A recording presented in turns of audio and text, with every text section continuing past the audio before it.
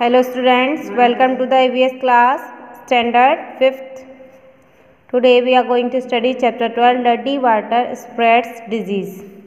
Birju used to feed his sheep in the village. He used to take his sheep at the pond to make them drink water. He also drank water to, of the same pond.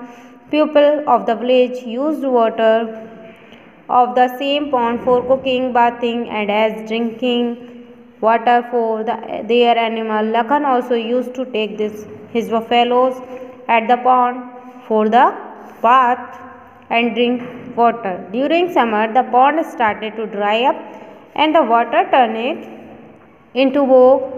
When very less water remained in the pond, even then the people fetches water from it. Most of the time, the village people remained ill.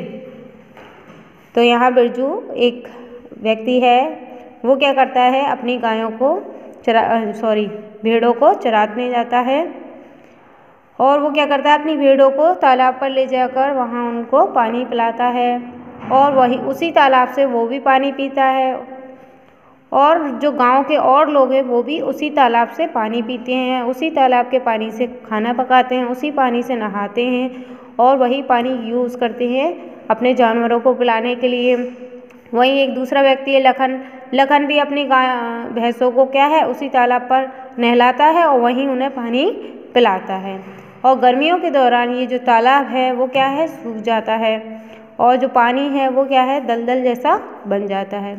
और लोग क्या है, वहाँ के village के तब तक उस पौंड में से पानी निकालना बंद नहीं करते, जब तक कि पानी पूरी तरीके से ख़त्म ना हो जाए, यानी थोड़ा सा भी पानी रहता है तो लोग उसमें से निकालते रहते हैं। काफ़ी बार ऐसा होता है कि गाँव के लोग बीमार पड़ जाते हैं। Fatima saw upon behind her school. Attentively she saw insect in his water, in this its water. lots of mosquito were there on the water on touching plants near it lots of mosquito flew from there also. There is a very beautiful garden outside Fatima's house but in the evening she and her father friends can't play there because mosquito bite and disturb a lot. तो फातिमा के school के पीछे क्या है एक pond है यानी छोटा सा तालाब है तो उसने जब ध्यान से देखा तो उसने देखा कि उसमें क्या है कुछ पानी में कुछ कीड़े हैं और वहाँ पर उस पानी में क्या है, बहुत सारे मच्छर भी हैं। तो जैसे ही उसने पास के एक पौधे को टच किया तो वहाँ से बहुत सारे मच्छर उसे उड़ते हुए दिखाई दिए। और वहाँ पर उसके घर के बाहर क्या है, एक सुंदर बगीचा है, लेकिन वो क्या है, शाम को अपने फ्रेंडों के साथ नहीं खेल सकती है बगीचे में, क्योंकि वहाँ पर क्या है, मच्छर जो हैं, वो बुरी तरीके से उन्हें काटते हैं और परेशान करते हैं। In stagnant water we see small insect and mosquito तो यहाँ इस एग्ज़ाम्पल के ज़रिए हमें बताया गया है कि जो ठहरा हुआ पानी होता है, उसमें क्या होते हैं? इंसेक्ट यानी कीड़े मकोड़े मच्छर देख सकते हैं हम। Mosquito lay their eggs there from which larva came out तो मॉस्किटो पानी में क्या करते हैं? अपने अंडे देते हैं, जिसे हम लार्वा कहते हैं। यानी वो लार्वा क्या करता है? लार्वा एक नया मच्छर पैदा होता है। उस लार्वा में से larva when grows become mosquito. फिर जो लार्वा है, वो बड़ा होकर एक बड़ा मच्छर बन जाता है। Offspring of all living being are not alike their parents in the beginning. तो जो भी सजीव चीज़ें हैं, वो ज़रूरी नहीं है अपने माता पिता की जैसी हों। यानी उनकी जो संतान है, वो उनके ही जैसी हो। As In case of mosquito and butterfly, in the beginning they are in the form of larva. जैसे कि आप देख सकते हैं मॉस्किटो और बटरफ्लाई जो होती हैं उनके जो बच्चे होते हैं यानी शुरुआत में ये कैसे रूप में होते हैं? लार्वा के रूप में। Pankaj plays in the garden every evening there are lots of mosquito in the garden They, the previous night he felt shivering and later he had high fever. Once he vomited also then he sweated a lot and his temperature came down. तो पंकज जो है एक शाम को हर शाम को क्या करता है बगीचे में खेलता है वहाँ पर क्या बहुत सारे मच्छर हैं बगीचे में तो पिछली रात क्या हुआ वो उसको कपकपी आई और उसको तेज़ बुखार आ गया और एक बार जब उसने उल्टी कर दी तो उसको क्या है, पसीना, बहुत सारा पसीना आ गया और उसका जो टेम्परेचर है, यानी जो तापमान होता है, वो कम हो गया। His father took him to the hospital where his blood was tested तो उसके पिता उसे हॉस्पिटल ले गए, जहाँ पर उसका खून का, यानी खून की जो जाँच हुई टेस्ट होता है ना, उसकी जाँच हुई। Doctor told that Pankaj was suffering from malaria तो डॉक्टर ने बताया कि पंकज को क्या हुआ है मलेरिया हुआ है।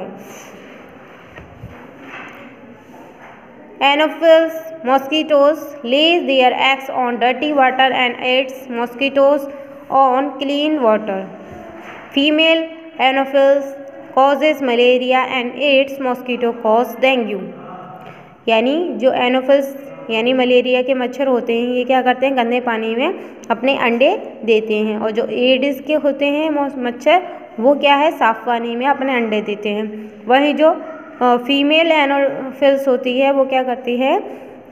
इसी के कारण हमें मलेरिया होता है। यानी फीमेल मलेरिया का मच्छर होता है, जो, जिससे हमें मलेरिया हो जाता है और एडिस मच्छर जो होता है, उससे हमें डेंगू हो जाता है। Collect them from doctor nurse health staff collect some poster with precaution तो यहाँ पे आपको